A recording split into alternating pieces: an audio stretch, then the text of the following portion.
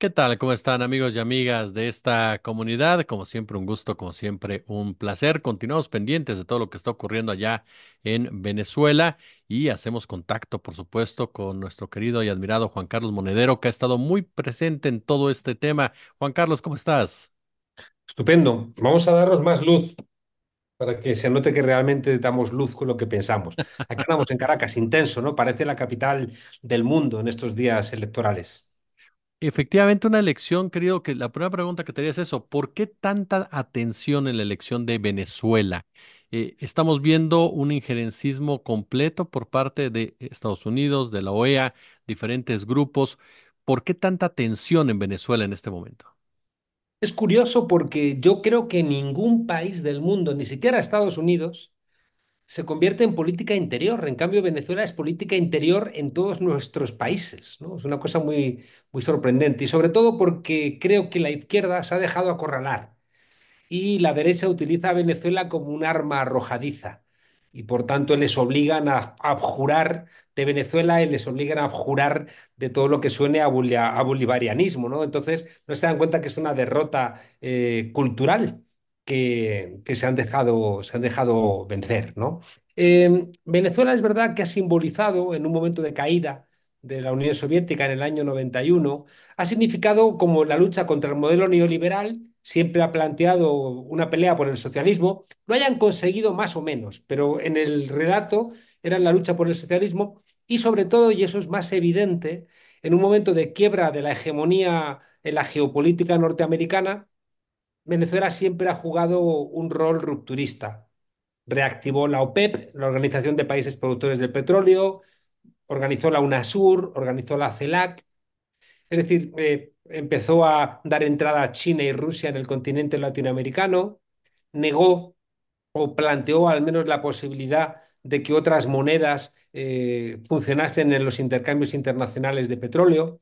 Son todas cosas que debilitaban a los Estados Unidos y también a las oligarquías latinoamericanas, que son siempre muy deudoras de los Estados Unidos. Y al final, claro, la, la, la derecha que cada vez es más global, que cada vez se apoya más, ¿no? Eh, no hay ninguna elección donde no aparezca la derecha global apoyando con expresidentes, con diputados, con Vargas Llosa, con Aznar, con Atlantic, Atlantic Council, eh, con bots, con las granjas de bots, con apoyo en las redes sociales. Pensemos, por fin, una de las cosas buenas es que se desvela que Elon Musk, Mm. el, el tipo que ha comprado Twitter, que, ha compa- que, que le ha cambiado el nombre y ahora se llama X, eh, está financiando cada mes con 45 millones de dólares a Donald Trump y ha salido en su propia red a defender a María Corina Machado. Y es tan bruto porque son injerencistas, como tú bien has planteado, pero no son inteligentes al respecto. Yo creo que son millonarios por lo que heredaron de sus padres, porque es un tipo que ha celebrado la victoria de María Corina Machado cuando María Corina Machado no se presentaba, tiene que haber celebrado la victoria de Edmundo González, pero les da un poco lo mismo porque lo que hacen es responder a un diseño que les dictan desde el Departamento de, de Estado las redes sociales se han convertido en los que quieren establecer quiénes son los presidentes de nuestros países. Y en ese sentido, bueno, yo creo que ha habido un guion muy claro. Era muy difícil que la oposición pudiera ganar las elecciones porque no tenían el apoyo de un pueblo al que desprecian.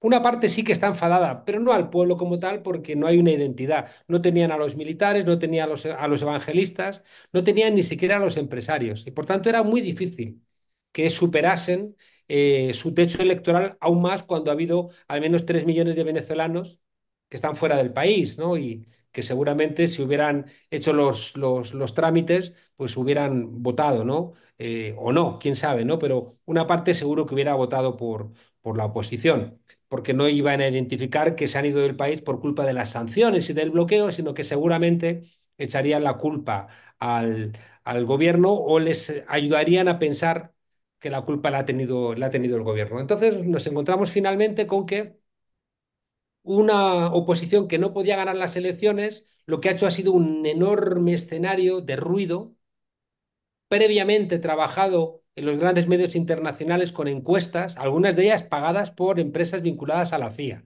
Es que parece de película.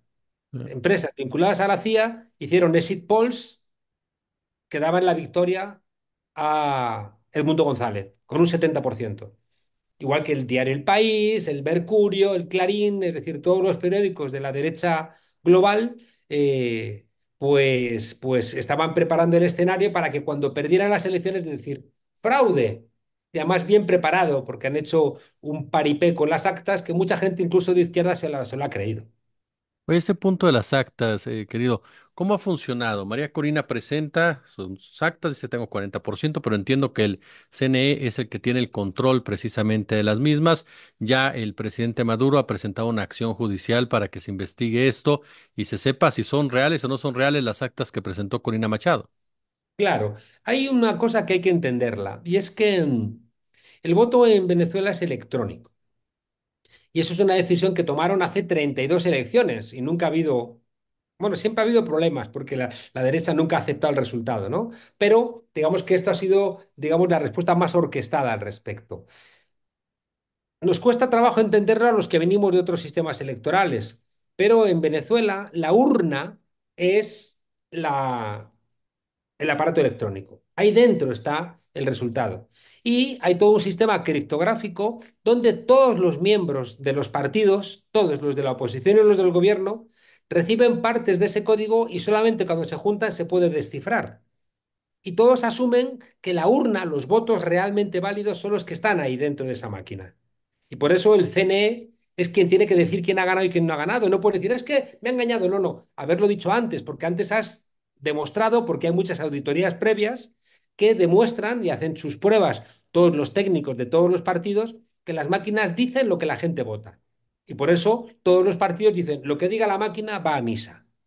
Además, además, cuando tú vas a votar, pones la huella dactilar, sale la pantalla, eliges el candidato, reafirmas que ese es el candidato, emites el voto, el voto queda en la máquina y se manda también al centro de totalización en Caracas del Consejo Nacional Electoral. Pero también te sale un resguardito y ese resguardo se pone en una urna.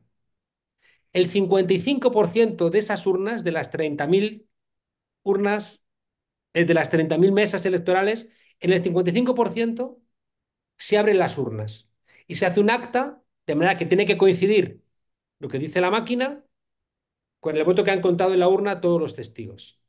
¿De acuerdo? Y al mismo tiempo todos los testigos reciben un acta del resultado de la, de la máquina. Por tanto, hay 30.000 actas que tienen todos los testigos. Ahora bien, en el sistema electoral venezolano las actas no son demostradoras de nada porque las puede falsificar cualquiera. Y por tanto, como aquí ha habido mucho fraude, dijeron todos de acuerdo en que el sistema fuera electrónico. Y ahora resulta que cuando el sistema electrónico dice que ha ganado Nicolás Maduro, la derecha dice, no, no, no, ahora cambiamos sobre la marcha de criterio. ¿Y qué, cuál es la trampa que ha hecho María Corina Machado? Ha dicho, ella debe tener, en teoría, no sé por qué ha dicho que tenía el 40% de las actas, porque tiene el 100%, porque todos los testigos de mesa tienen un acta, que no tiene validez, pero bueno, puede ser indicativa. Claro, ¿ella qué ha hecho? Ha enseñado algunas actas de los sitios donde ellos ganan. Es como si yo en España o en Madrid saco las actas de, mi, de un barrio rico, que vota a la derecha, y no de un barrio obrero que vota a la izquierda. Y saco las actas esas y digo, hemos ganado porque con el 40% de las actas se demuestra que tenemos el 73%. Entonces, está todo mal. Está todo mal porque las actas pueden estar falsificadas. Está todo mal porque las actas no son validadoras de nada. Está todo mal porque quien dice el resultado es el Consejo Nacional Electoral. Está mal porque has presentado solamente una parte de las actas y no todas. O sea, está todo mal. Y por eso hoy el presidente Nicolás Maduro ha presentado un recurso de amparo ante el Tribunal Supremo de Justicia, que es el que tiene que dirimir este tipo de conflictos. Aquí hay un Estado de Derecho y por tanto es el Tribunal Supremo de Justicia el que tiene que dirimir qué ocurre. Entonces ha presentado un recurso de amparo y entonces ¿qué va a hacer el Tribunal Supremo de Justicia? Pues le va a pedir a Nicolás Maduro y a Edmundo González que presenten sus actas. Cuando presenten sus actas, ahí se verificará de una manera clara quién ha mentido y quién ha dicho la verdad. Y es absolutamente evidente, al no ser falsificable el sistema, que lo que ha dicho Nicolás Maduro coincide con la verdad, que es lo que ha dicho el Consejo Nacional Electoral. Y hay que ver si la candidatura de, de Edmundo González y María Corina Machado como la gran tapada, primero, si presenta las actas, porque si presenta actas falsificadas, eso es un delito añadido. Un delito añadido al delito de insurrección que han mandado estos días a contratando a gente en la calle para generar destrozos, ¿no? Entonces, eh, es una farsa que ha durado tres días, pero que desgraciadamente una parte de la izquierda ha comprado, porque decía, no, presentar las actas, presentar las actas, que las actas las falsifica cualquiera. Y si tú presentas unas actas, el otro presenta otras. Y al final hay una discusión, mis actas, las tuyas. Y ahí entonces se genera un jaleo y no hay ningún tipo de seriedad. Lo que vale, lo que vale es lo que diga el Consejo Nacional Electoral. El Consejo Nacional Electoral que ha sido hackeado para que este, esta mentira tenga justificación, ha recibido ataques de OS brutales para que no pudieran computar. Y así la derecha puede decir, ¿veis? El Consejo Electoral no tiene datos. Nosotros sí, mirad, aquí están los datos. O sea, que es una cosa bastante guionizada y bastante articulada, ¿no? En un plazo de 30 días da la ley para que el Consejo Nacional Electoral publique los resultados de todas las mesas. Bueno, pues lo suyo es lo que ha dicho Lula, es decir, bueno, el Consejo, o López Obrador, el Consejo Electoral Central, el, el Consejo Nacional Electoral ha planteado el resultado, es el árbitro y ahora hay que esperar a que complete todo el proceso para que se termine, eh, se terminen realmente las elecciones. Si hay algún candidato que tiene algún tipo de queja, pues presenta sus actas que demuestran que les han mentido en el Tribunal Supremo Electoral, se las sellan y esa acta sellada es la que valida que tu denuncia puede tener fundamento. Ahora bien, si tú presentas un acta para que te la selle el Tribunal Superior de Justicia, el acta no puede estar falsificada. ¿Qué ocurre? Pues que la derecha siempre dice, tenemos las pruebas, tenemos las actas, pero luego no las presentan. No las presentan porque lo que hacen es el escándalo mediático, sin más. Por tanto, la conclusión de todo esto es que, ya te digo, hoy de alguna manera se plantea, porque hoy se ha dicho también que el Consejo Nacional Electoral va a intentar acelerar la publicación en su página web de todos los datos de todas las mesas, va a intentar hacerlo, pero claro, si están hackeados, para que precisamente no pueda hacerlo, es más complicado, pero van a intentar hacerlo. Y en segundo lugar, va a ser el Estado de Derecho y por tanto el Tribunal Supremo de Justicia el que establezca eh, quién tiene la razón y por tanto va a haber dos validaciones de los datos. Va a haber la validación del Consejo Nacional Electoral publicando las actas de todas las mesas en su página web cuando corresponda, más lo que establezca el Tribunal Supremo de Justicia, que lo que va a establecer es que la candidatura de María Corina Machado y Edmundo González ha mentido. Finalmente, creo, Juan Carlos, en este punto ya nos explicabas por qué el famoso reconteo que se ha pedido por parte de diversos personajes en un momento dado sale, sale sobrando, precisamente por este se ha tema de las actas. equivocado, nuestro amigo Petro se ha equivocado. Ha sido más prudente Lula al plantear que funcione el Estado de Derecho, que los organismos funcionen, porque claro, al final Petro dices, gano y tengo que hacer otras elecciones, ¿cómo es eso? Entonces, eh, yo creo que ahí, ahí ha estado muy cariñoso el presidente Nicolás Maduro en la rueda de prensa que acaba de terminar hace, hace apenas 15 minutos, ha estado muy amable con, con Gustavo Petro diciendo, es mi amigo, hablo con él, eh, pero claro, seguramente no ha terminado de entender que todo esto forma parte de un intento de golpe de Estado. Y ahí tenemos que estar más astutos, ser menos ingenuos. Y seguramente su canciller sí que se ha equivocado, porque el canciller ha dicho, el mundo quiere saber, el mundo, y el mundo quién coño es, con perdón. ¿Le hemos pedido las actas a Estados Unidos cuando reclamaba Trump?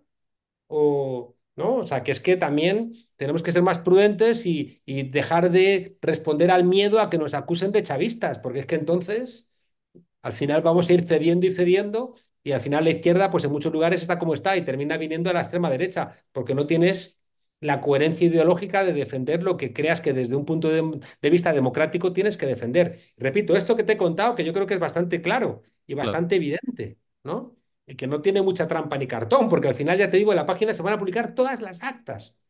Es que no puede falsearse el sistema. En cambio, he tenido que escuchar a politólogos que me han parecido basura presentándose como supuestamente científicos, apoyando los disturbios de estos días aquí en Caracas y en todo el país, con el destrozo de hospitales, asesinato de gente, por culpa de que esos científicos sociales han metido la pata por su implicación en una concepción de la política muy conservadora.